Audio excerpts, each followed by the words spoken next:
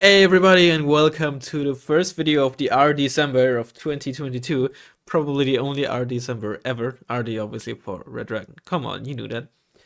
Where it's all about the top 12 units of Wargame Red Dragon as voted by you.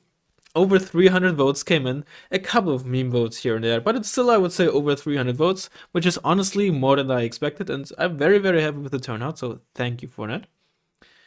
And today we're gonna take a look at the 12th best unit as voted by you. There's gonna be 12 videos or 13. There's gonna be like an honorable mentions as well. And if you wanna really rip your ears out, you might wanna wait until the end of the video. Just a small little hint. Anyway, the 12th best unit as voted by you is not the Alouette 3, it's the Bkan 1C. Now artillery, especially tube artillery, honestly all kinds of artillery, they're always hard to really evaluate just based on unit card, right? Like your normal tanks, let's say just a Leopard or something. Pretty easy to evaluate, there's nothing really hidden on that. Artillery is a whole different beast. However, the Bkan might be the exception. Why? Because, well, there's two very important details that are really, really hard to read uh, based on a unit card. One is aim time that is just straight up not shown, right? Nothing here indicates what the aim time is. If we compare the Paladin to like a 100 point M109, uh, obviously we see, okay, there's a slight range difference, slight dispersion difference, a small rate of fire difference, but the biggest difference is that the Paladin has a 10 second aim time and the um, PCH M109A3G A1 has a 30 second aim time, and that's huge, of course. And of course, there's direct fire capabilities, but who cares about that? Um, so that is one thing that is just not readable. The other thing is rate of fire. That is an exception with the Bkan. It almost really, it re already gives a big indication, hey, something's different with this one, right? Because if you look at the vast majority of artillery, they're all in the realm of like, you know, from up two to like five Right? You can every, almost everything has any, anything from two to five. I think it's some might have six like the Caesar, but the majority have something like that.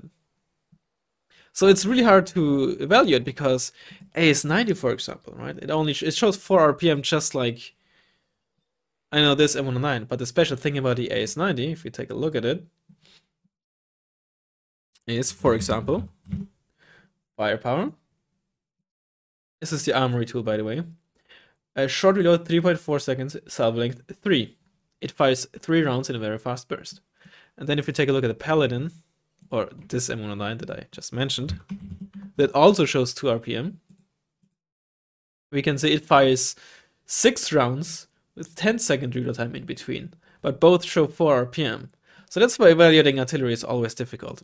And as I said, uh, it's at least when it comes to rate of fire, you can immediately something, especially with the Bkan.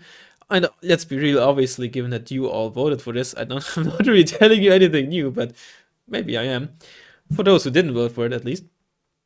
Um, the Bkan not only has an even shorter shot reload than the AS90, which is already really short. Right? 3.4 seconds, it's very fast. It fires 14 rounds in a row with that rate of fire. That's crazy. The sustained damage output from this thing is redonkulous. Obviously, it's gonna eat supply like nothing else. Though the supply cost just per shell, not like over a minute, just per shell is actually, thankfully, or unfortunately, not as high as it might be. Because unlike most, not all, but most 10 second aim time artillery pieces, um, does it show you uh, it does. It, it, yeah, it shows you the dispersion. The dispersion and HE are the only two factors um, impacting supply cost.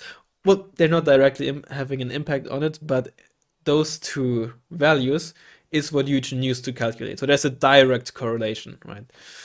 It's not like I think I might be wrong, but I don't think it is the way that if you change an HE via modeling tool, I don't think supply cost is automatically affected. It might be, but I don't think it is.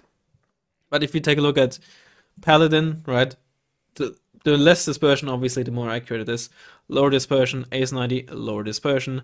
Caesar, lower dispersion. Um, Thunder, lower dispersion. I'm just checking all the 10 second aim time artillery pieces right now. This one also lower dispersion. I think the Dohair also has 10 second aim time with low dispersion. Rhino has a ridiculously low dispersion, right? And you can see exactly that in the supply cost. AS90, 84 per shot, Bkan 66. If you look at the Rhino, it has 105. But of course, with the crazy rate of fire, right? If we just only take this rate of fire set into account, which is always a bit iffy because, you know, a full cycle doesn't take exactly 60 seconds, right? Um, but if we just take this into account, um, obviously it's 12 times 66, right? That's something like 800 or something like that supply per per minute. Let me get the calculator up. 792, honestly close enough. Whereas uh, with 4.89 times 84, you had 410, almost half, right? So the Bkan eats supply like nothing else. You can of course go with the Bkan 1A, even less supply cost, but it has, and it has the same rate of fire but a much longer aim time, and this of course is less accurate. Um, but you also, especially with such a high volume, don't necessarily want it to be very, very accurate. Because with the sustained fire, if they all hit the same spot, obviously what is there is eventually dead. But if it's a bit inaccurate, you hit a, hit a you know bigger area and can like you know like a couple of town blocks or a reasonably large forest patch and properly like empty that or put everything on fire, panic it, right? So that's why for one you might not want to upvet it simply because you know, you want to have a second one in case the first one gets sniped. It is very slow and has very little armor. But also because the accuracy can actually be arguably detrimental. Now another thing is that I want to show is this chart where you can see the percentage of votes the Bkan got and in red and blue is the maximum number of votes you know one unit got so uh, that's blue is not from one and the same unit just saying. Um, it's just the highest value any of the units got. So you can just roughly, very roughly, it's not a perfect visualization, but you know, also like guess to uh, guess or like see how many votes this unit got. The Bkan, of course, not a whole lot of number one votes, obviously, but um, if you compare to like, I, I, I want you guys to guess what you think actually, right? is the, the who got the number one spot on for number one votes, right? Which are valued the most for calculating. And when it comes to like the number of uh, rank four votes it got, it actually got a, a good amount comparatively. So not a whole lot of units think it's the strongest, but certainly quite a few think, oh, it, it is pretty strong, but not the most broken one.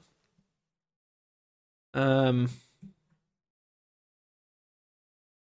To be precise, it got 13 votes for rank 4, 10 for rank 5, 6 for 2 and 3 respectively, and 1 vote for rank 1, meaning one individual voted, this is the strongest unit. And you could, you know, technically calculate or guess it yourself, but uh, the most number of votes actually were 18, followed by 17, 15, and then 13. So this was the fourth most, uh, fourth highest amount of number of votes uh, any unit got, and it's only on rank 12. There are definitely a few uh, surprising results in this in this poll, and I'll showcase them later on. But uh, yeah, that's the Bkan 1C, the 12th best unit as voted by you.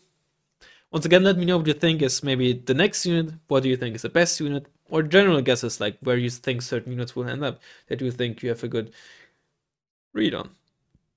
In any case, um, like I said, there's gonna be a small I don't want to call it the Easter egg, but surprise coming now. Um, if you value your ears, you might not want to listen to what's about to come. And uh, yeah, thanks for watching, and I'll hopefully see you next time. Bye bye. On the first day of Christmas, you transcend to me a Swedish Bkan 1C.